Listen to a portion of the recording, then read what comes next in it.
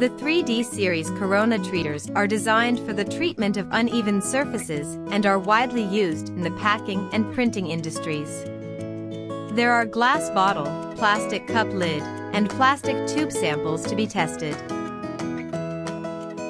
The portable heads, single or double to be chosen, are flexible to use and also can be fixed on the production line easily.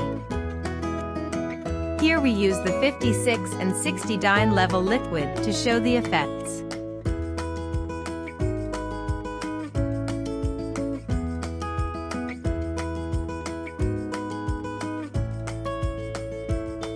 We could see the significant differences in adhesion between the original one and the one after the treatment.